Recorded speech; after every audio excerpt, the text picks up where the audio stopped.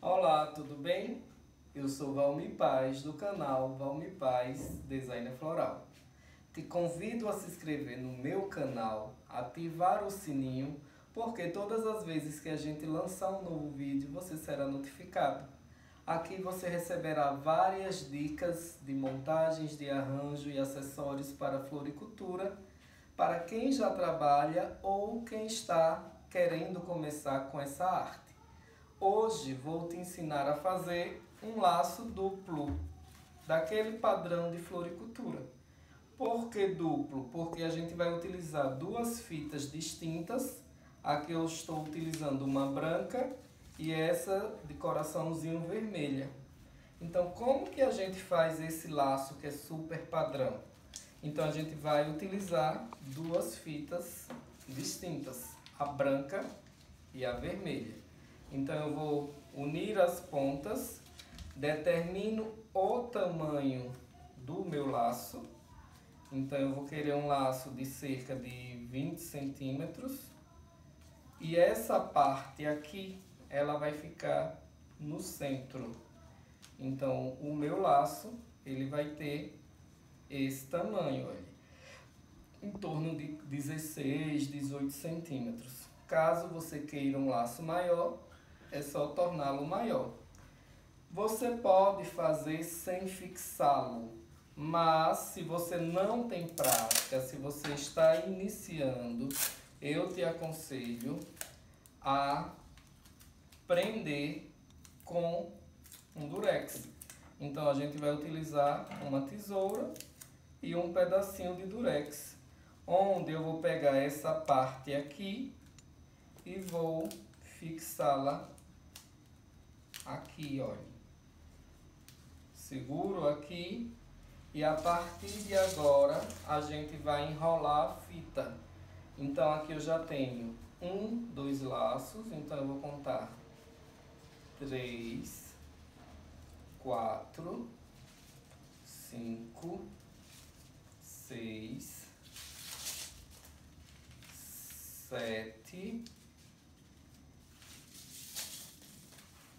oito, nove, dez. Vou colocar doze, tá? Onze, doze. Porque como o nosso laço é duplo, então a gente vai ter 12 vezes 2, 24 perninhas. E aí eu determino um tamanho para vir e cortar aqui está feito o laço. Como que eu vou fazer o corte para deixá-lo dessa forma? Então, o ideal é que você segura no meio aquela parte onde você passou o durex e aí com o auxílio da tesoura você vai cortar até mais ou menos o meio da fita um triângulo. Então, olhe, eu corto uma parte, venho, corto aqui a outra. Então, olhe, um triângulo. Muito cuidado na hora de cortar a segunda parte, porque não pode se aproximar muito dessa outra, porque senão na hora de abrir o laço vai rasgar. Então é bom deixar sempre um espaço. Então, olha, eu vou cortar aqui, venho desse outro lado e corto o triângulo. E aí essa parte, olha a quantidade que ficou para que a gente possa trabalhar. Eu posso inclusive pegar um pedaço de durex e prender aqui essa parte para facilitar na hora da montagem do laço. Para quem está iniciando, essa dica de utilizar o durex é muito legal. E aí o que, é que eu vou fazer? Eu vou pegar um pedaço generoso dessa fita, eu divido ela em três, olha, pego um pedaço dela e amarro aqui. Então, coloquei a fita, venho, dou um nó, dou um segundo nó.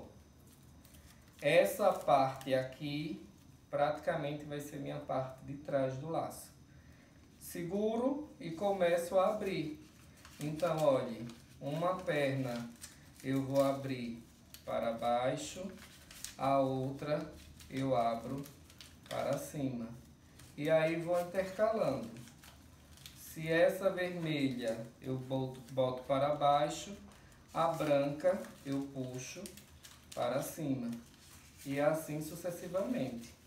Posso botar aqui a vermelha em cima, uma branca para baixo, uma branca para cima, vermelha para baixo e assim sucessivamente. Esse tipo de laço é um laço padrão. O ideal, se você é tipo, ah, dia dos namorados, dia das mães, eu vou ter muitas encomendas.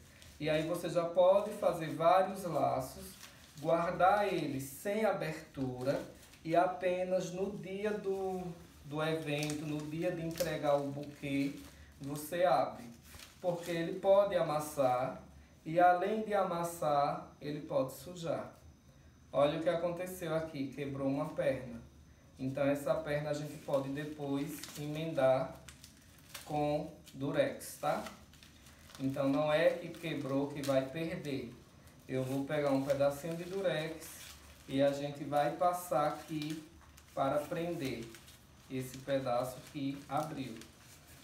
Isso é muito importante na hora do corte, que o corte não se aproxime muito do centro, porque se aproxima, você vai ter dificuldade nessas aberturas e consequentemente vai abrir. Então, olhe, as pernas que você vai amarrar, elas estão aqui atrás. E aí você vai redimensionando o laço como que você quer. De repente intercalando o branco com o vermelho, para que ele fique super descontra é, descontraído e super colorido. A gente pode até inclusive estar tá utilizando três tipos diferentes de fita. Então fica a critério de como que você quer utilizar. É, só pegando aqui um pedaço do durex Vou cortar aqui um pedaço pequeno. E esse pedaço a gente vai prender essa parte aqui. Então, o que é que eu vou fazer? Eu pego essa parte que quebrou, pego o durex e uno um no outro. E aqui ele vai ficar fixo. Essa partezinha da fita pequena é a que você vai amarrar no buquê e essa daqui você pode pegar uma delas e fixar com a sua etiqueta de logomarca na embalagem do vaso, do buquê, da cesta de café da manhã, etc. Gostou dessa proposta? Então você dá um like, curte e encaminha para um amigo. E vamos crescer juntos com a arte floral.